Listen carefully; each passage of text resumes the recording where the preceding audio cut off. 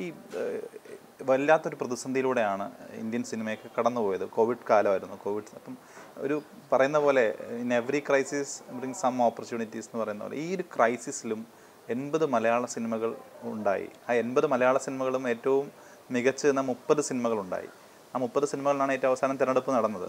അപ്പോൾ കോവിഡും നമ്മുടെ സിനിമയെ ബാധിച്ചില്ല എന്നാണോ സത്യത്തിൽ അതിന്റെ നിലവാരം കോവിഡ് കോവിഡ് ഇന്റർനാഷണലി എല്ലാ സിനിമയും ബാധിച്ചു എക്സെപ്റ്റ് കേരള മലയാളം ഫിലിംസ് അത് എനിക്ക് ആ മാജിക് എന്താണെന്ന് എനിക്ക് മനസ്സിലായില്ല.